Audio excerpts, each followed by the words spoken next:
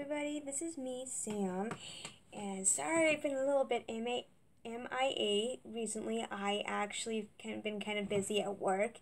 That, because we had back to school a couple weeks ago, like two weeks ago, and then, three weeks ago? Beginning of September.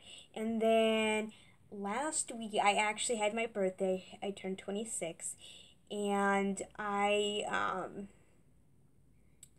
got a I had gotten a birthday gift, which I'm actually going to review on. I got a Keurig, um, a Keurig Mini to, you know, be precise.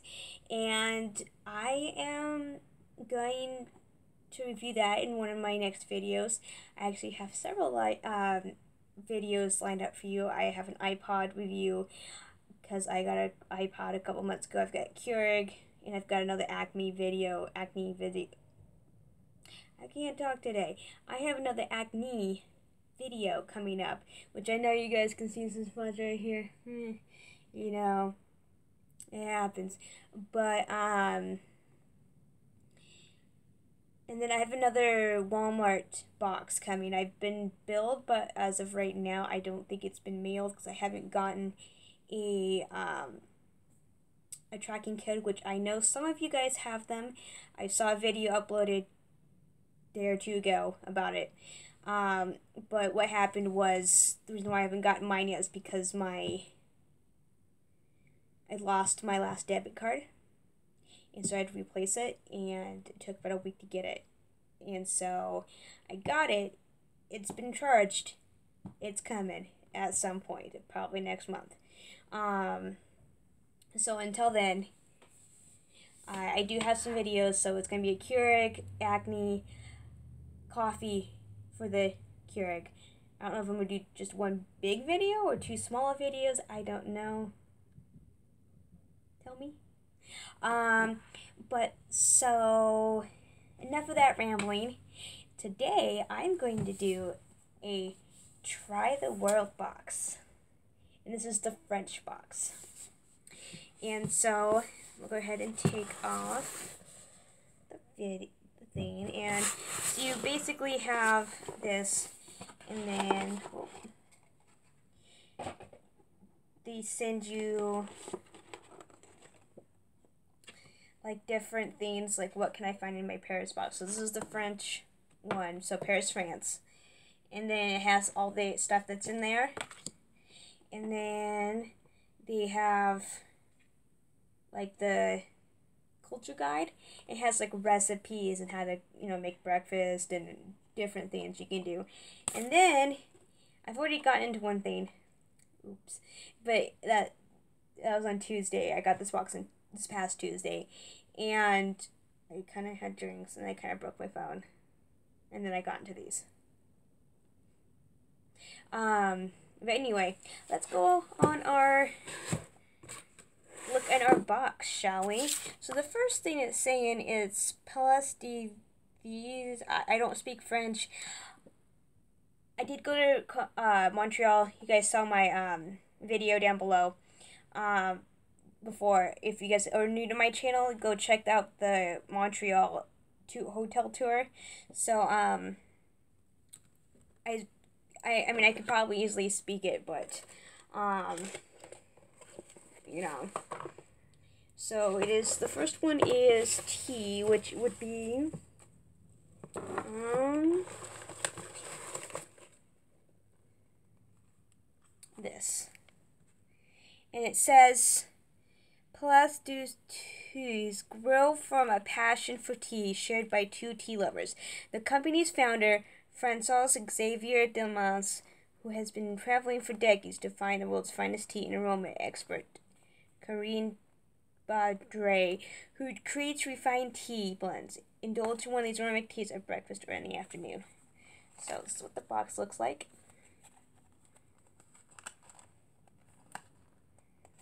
I can Get it open. Oh, there you go.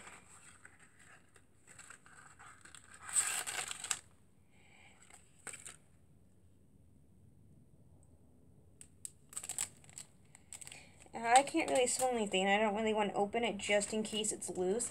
And if it is loose, I might actually wait and try it with my Keurig because it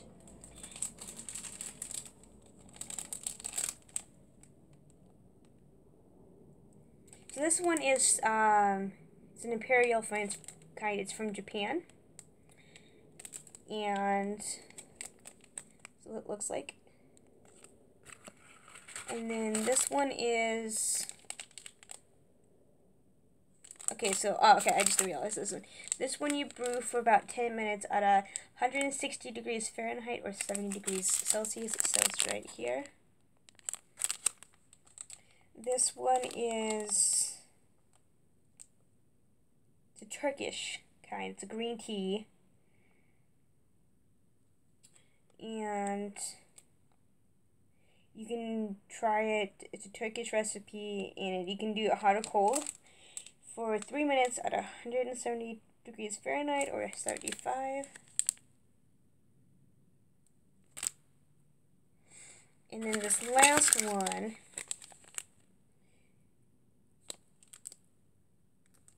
is 205 degrees Fahrenheit. You steep for 3 minutes, 95 degrees Celsius.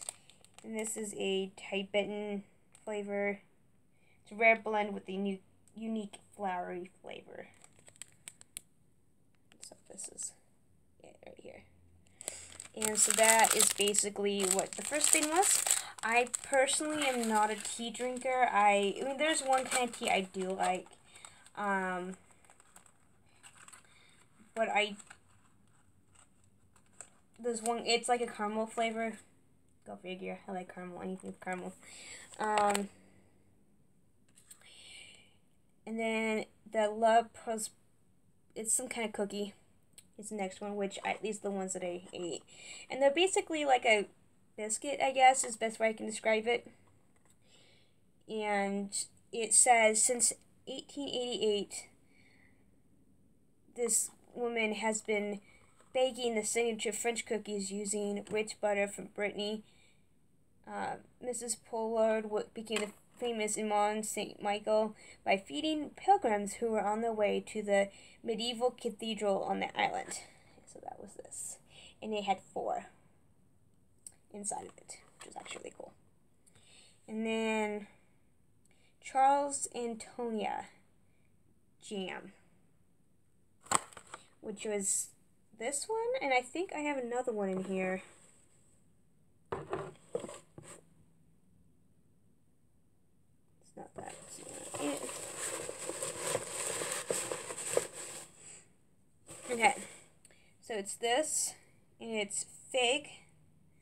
And so it says, on the close to his 25 acres of family-owned land in Corsa, Corsica, Charles Antona grew the fruit of his preserves with the help of local farmers and artisans. In keeping with his grandmother's original recipes, Antona combines his fruit with his Medi- with Mediterranean herbs to make this delicious, flavorful spread. So this is it. It's fig. It's like over nine, nearly nine ounces. It's 55% fruit. So fig, cane sugar, syrup, lemon juice. The normal stuff. Which uh, according to the French culture guide, you can put it on like bread, certain kinds of bread and whatnot. And then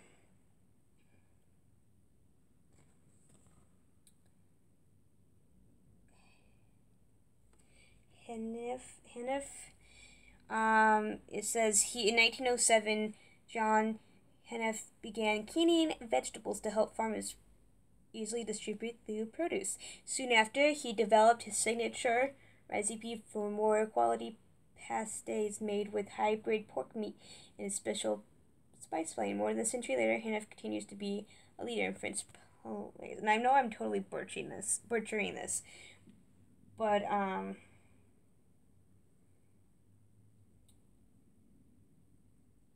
The ingredients in this is pork, pork livers, onion, sodium, modified stuff, cornstarch. So it's basically this. I don't want to taste it because I, I at the moment because I afraid that it, it's a bug. Go away. Um, I don't want to have to put this in the fridge because I'm I'm pretty sure it's going to be refrigerated when it's been opened. That's that's it. Um, like I was a little bit shocked on how like heavy this was, and then.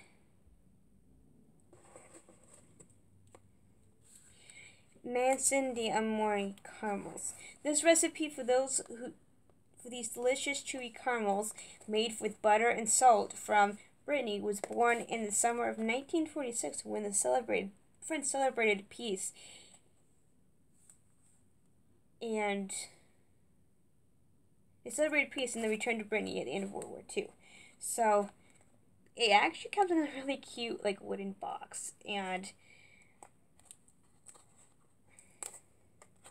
I would like to see inside of this.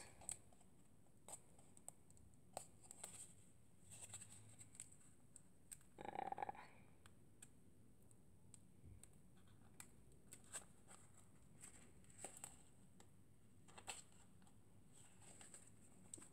ah. This is really hard to open. There we go.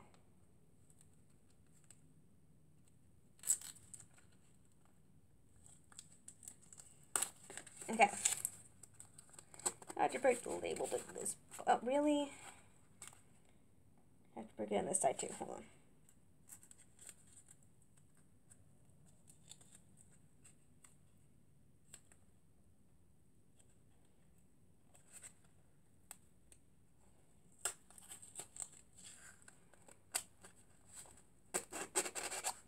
Okay, so it has about five of them in here. And like. And they're quite soft. So, they look really nice. And then it says, um, it's mustard. Mustard produced in France dates back to the Roman Empire. Now in the city of Dijon, the mustard of Mustard capital France, Demande Fins used quality mustard seeds in vinegar distilled from Bordeaux and Chardonnay wines to use this rich, tangy mustard. Enjoyed into enjoy and spread into sandwiches or glazed over meats. It's basically this one. So I I'd actually it, it's and it's whole grain too. I, I'm not the biggest fan of mustard. You? I might actually, my friend has birthday coming up next month, so I, what I might do is put this as like not open at all. That because it's kind of nasty to give like used food to people. But I'm thinking about taking this and like gifting it to her because she likes mustard. So we shall see. And then it's a mystery treat. So the mystery treat these little guys. And it's sauce. Man, tray sauce. I mean, any of you guys get this? Um, got two of them, and you tear it, you heat it for like 10 seconds, you remove it, and you pour.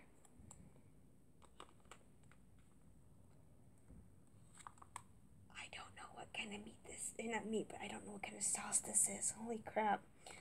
Can anyone tell me? Have you, have you guys gotten this? Um, I don't know. I to actually, I, I, do, I do have one friend who speaks French, so maybe he can help me. So, Anyway, I shall chat at you all later, and I will will go and continue to make more videos. See you guys later. Bye!